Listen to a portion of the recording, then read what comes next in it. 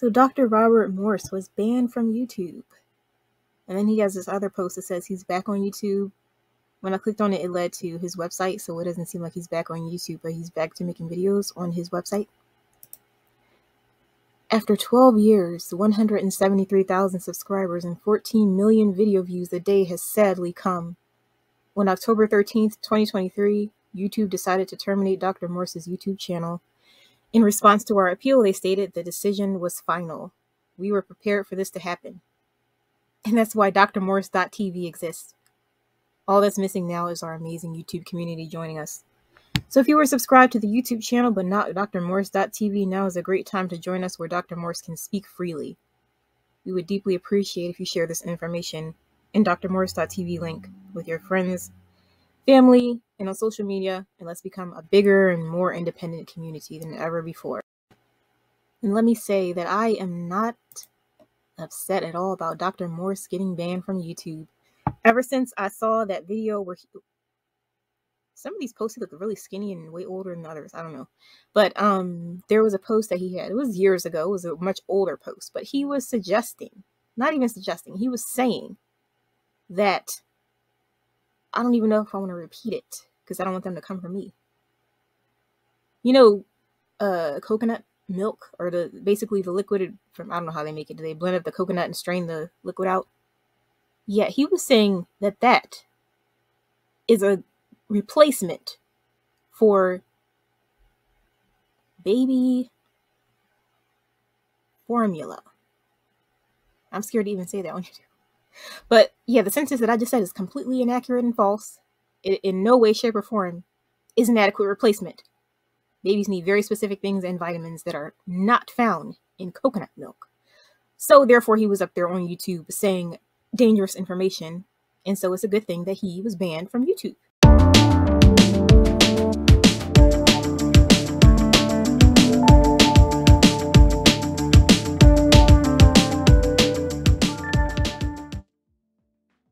8:27 p.m. Saturday, October 21st. Why is it always so easy to find vegans once again killing their own children? At least we have some good news from Vegan Deterioration. Dr. Morse will no longer be on YouTube. And uh, hopefully this guy will be in jail too. And I honestly think YouTube has to scour the channels and throw all these vegan quacks off the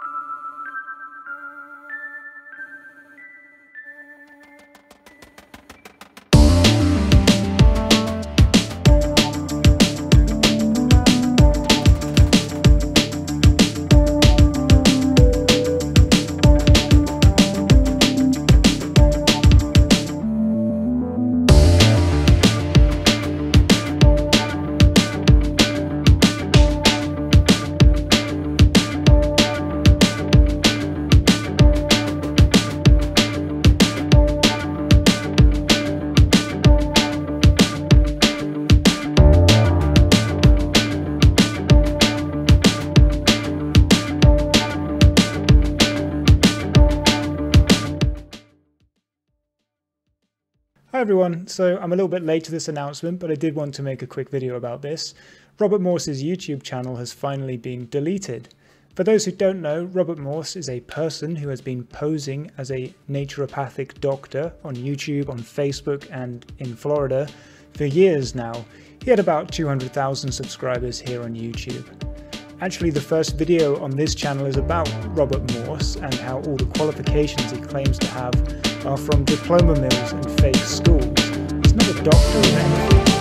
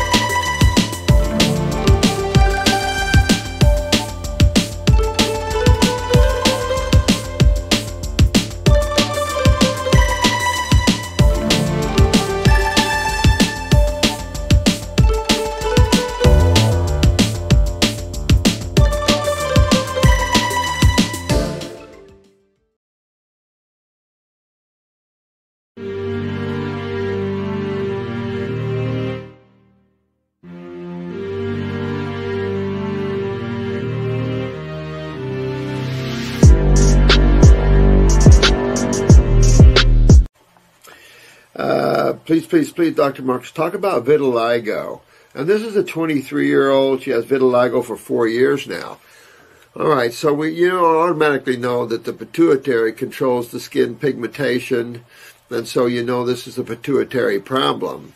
So uh, definitely a couple of things you want to think about when you have vitiligo and that is you've got to think just like everybody else. First of all, I've got to get my body alkalized. I've got to get my body hydrated. I've got to get this lymph system filtering through my kidneys. I got to get all the congestion out of my sinuses, out of my bronchs, out of the walls of the bowels.